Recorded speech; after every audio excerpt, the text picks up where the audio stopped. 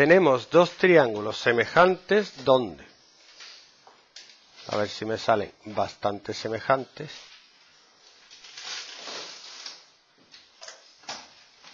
Sabemos que este mide 10, que este mide 15, que este mide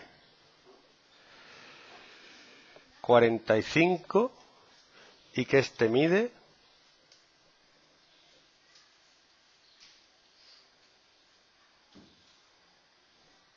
mm, 20. ¿Podemos sacar los lados que nos faltan? ¿Cómo? Tales dice que en dos figuras semejantes los lados son proporcionales. Entonces, como tenemos dos lados perdón, la medida de los lados que son semejantes, nos queda que 45 partido 15 es la razón de proporcionalidad, y yo añadiría lineal.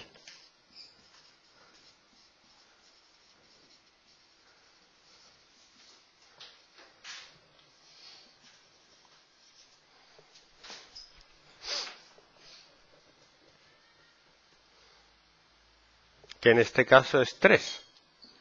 Entonces, por tales podemos decir que 45 es a 15, siempre tenéis que ser visuales.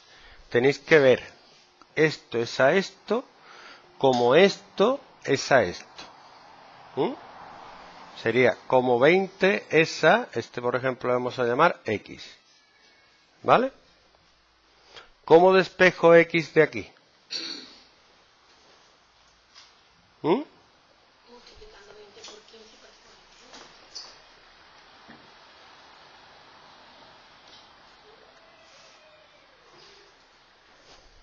¿Cómo? ¿Por qué? ¿Qué quiere decir que es como una regla de tres? porque te lo sabes de memoria. Yo prefiero verlo como una ecuación. X que está dividiendo pasa multiplicando. Vamos, no es que prefiera verlo, es que así repaso las ecuaciones. Y 15 que está dividiendo pasa multiplicando.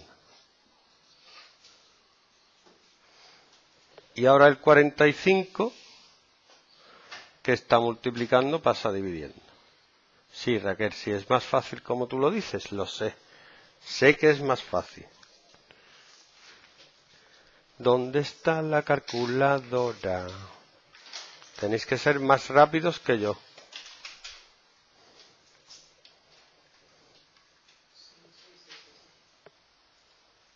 ¿Cuánto es? Sea, el número del demonio, ¿no? Bien. Y luego, para calcular este, le vamos a llamar I. ¿Qué hago?